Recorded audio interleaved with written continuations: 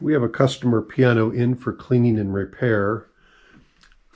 Go ahead and take that uh, music desk off, Andy.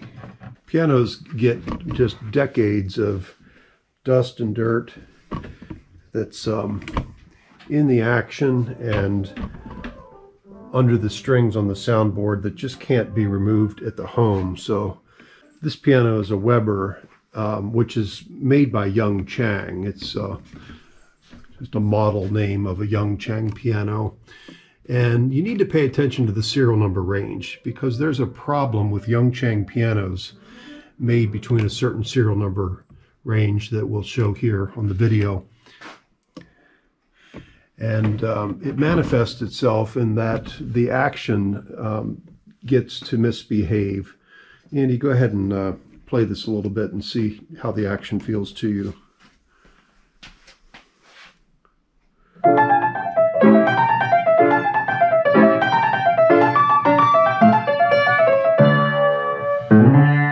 So here's the mm. problem. Play that last part again, Andy. Uh-huh. So play that and hold that note and you uh-huh. see the hammer is blocking the string. And uh, play that again, Andy. Uh-huh. It kind of double strikes. Play piano so you can kind of make that, show how that hammer is just kind of bobbling up there in that position. Now, a technician might uh, regulate that out by increasing the let off of that hammer. Um, however, on these pianos, that's not actually the problem. in the end. And I'm just going to pick it up here.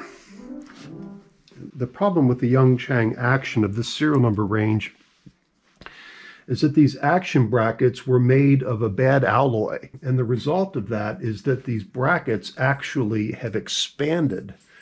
This is an action bracket removed from a bad piano.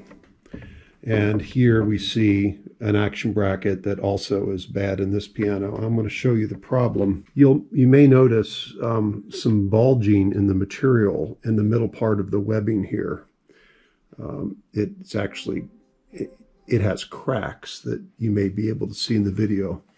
More obviously, if I hold a ruler up to the bottom, you can see that it's warped. The the bottom feet are not flat as they're supposed to be. It's actually bowed. And that raises the rails attached to the brackets and causes everything in the action to be out of whack, out of its motion limits. You'll see cracks where it's expanded and at the screw holes where it's broken. This bracket was just entirely uh, broken in the piano.